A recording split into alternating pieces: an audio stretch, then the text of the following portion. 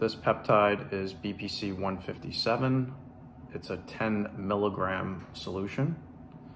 So we're going to reconstitute with three milliliters of bacteriostatic water.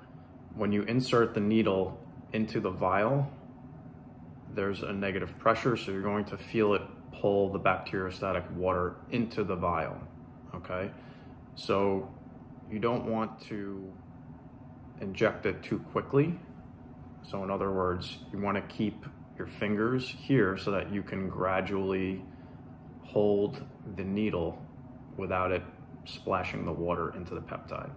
So the peptides are very fragile. So what you want to do is never do it this way so that it splashes down into the peptide. You want to actually aim the needle into the corner of the vial and then slowly let the water drip down the side. And you can actually rotate the vial slightly side to side so that it's mixing as you're insert. So you're going to see as I insert this in on an angle,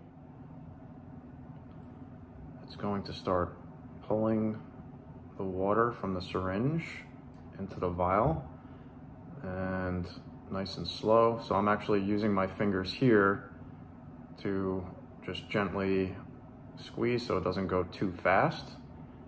And I'm just kind of guiding it in, okay?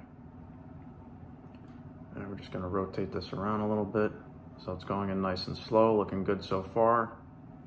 And we're good, okay? So you're going to gently remove that. I've now reconstituted the peptide with three milliliters of bacteriostatic water.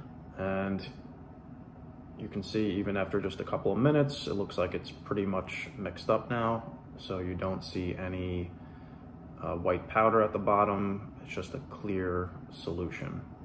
As far as a dosing protocol, so typically for BPC 157, you would want 500 micrograms of the peptide for each injection. Uh, so you can definitely start lower than that the first few times uh, just to be safe.